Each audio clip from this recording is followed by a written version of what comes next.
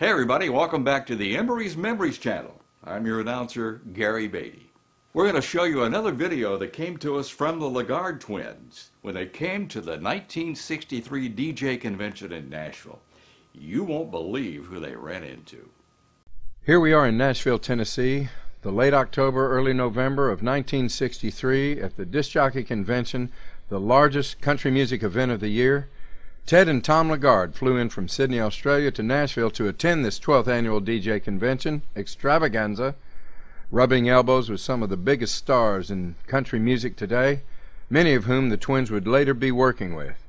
They're signing in here for the event at the Municipal Auditorium in Nashville, Tennessee, and you're about to meet some luminaries that have influenced both the LeGardes and with whom the LeGardes have influenced. One of them, of course, is Mr. Roy Drusky. You'll see him here on the convention floor there. The LeGardes did cover a song that they had had out, Three Hearts in a Tangle, and that song did so well for the LeGardes over in Australia. There they are signing autographs. There is Roy Drusky.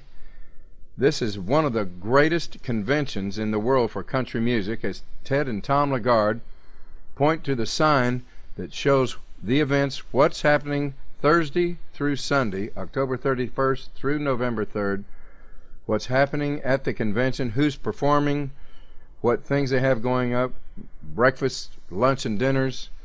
All the publishers are represented there. And Ted and Tom LeGarde, I'm sure, are going to be approached by some of these publishers and songwriters like Bill Anderson to see if they would be interested in recording some of their country music songs. There's a convention floor where they're having lunch and dinner. It's the 38th birthday celebration for WSM Radio, Grand Ole Opry, that got started in 1925. It's also the 12th annual disc jockey convention. There's the Grand Ole Opry with stars like the Maxine Brown and, and Jim Ed Brown with their sister performing some of the great songs like Limelighter. They had done some shows with the LeGarde twins back in Switzerland. And there they are with Gene Autry. Now, Gene Autry is very special to the LeGarde twins, as when they were just small boys, they would walk 15, I repeat, 15 miles to see Gene Autry in South of the Border, the great movie. Lester Flatt and Earl Scruggs there.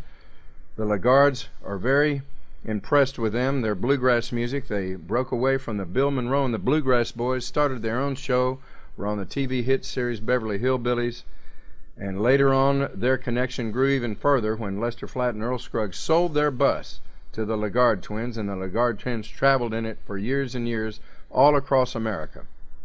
There they are with Roy Acuff. Roy Acuff did a tour in Australia. I'm sure he was influenced by the talents of the LeGarde twins, Ted and Tom. Skeeter Davis standing with uh, Earl Scruggs and Lester Flatt, and the great Chet Atkins, the great guitar player is really fond of these boys. The problem is, Chet Atkins doesn't know which one is which. You'll see him looking at their name tags to see who they are so he can keep them straight. Uh, LeGarde twins, all throughout their career, have had fun with their look-alike identities. There they are with Bill Monroe, and uh, Bill Monroe of the Bluegrass Boys, the father of bluegrass music.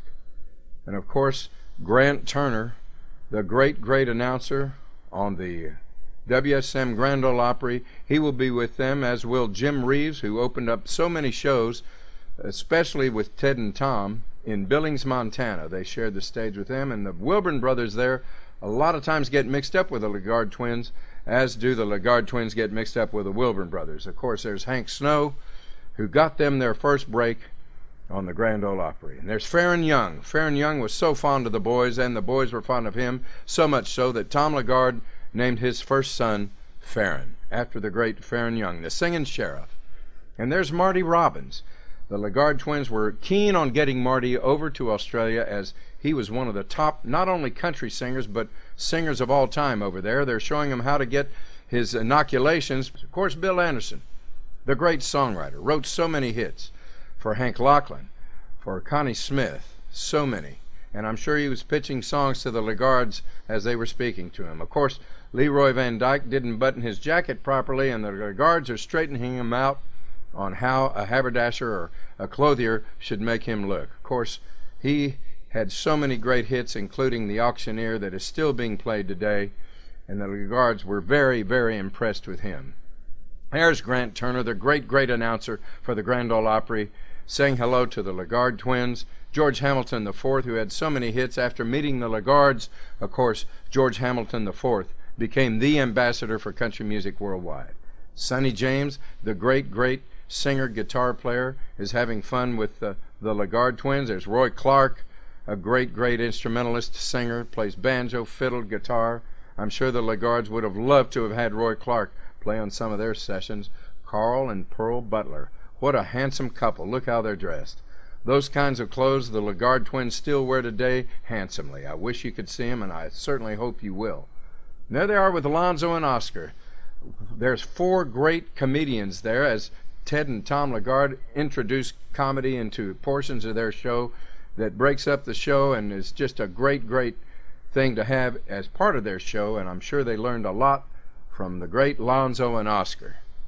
Minnie Pearl with There's the Jordanaires. The Jordanaires sang on no less than three songs that the LeGarde twins recorded, helping their records reach the top of the charts in Australia that may not have been able to been done without the great Jordanaires. And I'm sure the Jordanaires remember them from the great records that they made with them. What a great, great singing group. There, of course, is Ted and Tom LeGarde saying hello to Hank Snow, who was instrumental on getting them their first appearance on the Grand Ole Opry country music show out of Nashville, Tennessee, shaking hands with Hank Locklin, who was the first person to record the Nashville sound with Chet Atkins on Send Me the Pillow That You Dream On, 1961. Of course, Bill Anderson receiving yet another award for some of the great songs that he'd written. He's probably receiving the award for Once a Day, Every Day, All Day Long, as sung by Connie Smith. He's written so many great songs. There's a Ryman Auditorium. They're standing out front with Ralph Emery, the great radio and television announcer, and his lovely and talented wife at the time, Miss Skeeter Davis. And of course, Ralph Emery was so impressed with their talent, he had them on their 5:30 Ralph Emery show in the morning. They got so many cards and letters that Ralph Emery had to have him back for two more appearances, which they did. Of course, the great icon of country music and Sun Records, Mr. Johnny Cash, saying hello to Ted and Tom LeGarde I'm sure there's a mutual admiration society right there between the LeGarde twins and the great Johnny Cash. And of course, holding up the big fella, Jimmy Dean. This is Ted and Tom LeGarde, October and November 1963 at the DJ convention. It was the biggest country music event of the year. They're still talking about it today and due in mostly in part by Ted and Tom LeGarde. I'm Boomer Castleman bringing you some of my favorite entertainers not the least of which is Ted and Tom LeGarde. still at it after all these years with a new rejuvenated television show starting in Australia in October this year, Country Style. It will be on for six months in Australia, and I certainly hope the rest of the world is privy to these shows, as I've seen some of them, and they're second to none. Ted and Tom, the LeGarde twins. I want to tell you about their book, the LeGarde twins, showbiz hustlers. Let me take you back to the beginning. These twin boys walked 15 miles across the bushlands of Australia to a tent with a dirt floor and folding chairs. As the projector started up, the movie appeared in black and white on the screen, and there for the first time they saw Hopalong Cassidy. They ran almost all the way home and told their mom we're going to become cowboy singers. Let me read the introduction to Showbiz Hustlers. Being raised in the bushlands of Australia in the 1930s and 40s was a rough and hard life. We didn't think about it back then because that's how life was. You have to live the hard life to understand it. But we also made a picture in our minds of the kind of life we wanted to lead, and it became a beacon that has guided us on our long journey in show business. We hope and pray that our book falls into the hands of our fellow strugglers and dreamers to give them unfailing encouragement to pursue their hopes and dreams. Above all else, we want to give God all the praise and glory for our long lives and for His mercy and grace in dealing with us throughout the years. So grab the reins and ride over one million miles with us from the bushlands of Australia across seven continents through 23 countries and 45 of the 50 states in America. Let's ride. Ted and Tom LeGarde. They appeared in Vegas, movies, and TV shows. And for you Trekkies out there, get this. This book is packed with pictures and stories and is a must read. We'll put a link below the video so you can get your copy of The LeGarde Twins Showbiz Hustlers. The LeGarde Twins Showbiz Hustlers makes a great gift. This book is about twin brothers from Australia who had a dream and it came true. This is Gary Beatty, and as Ted and Tom LeGarde would say, G'day, mate.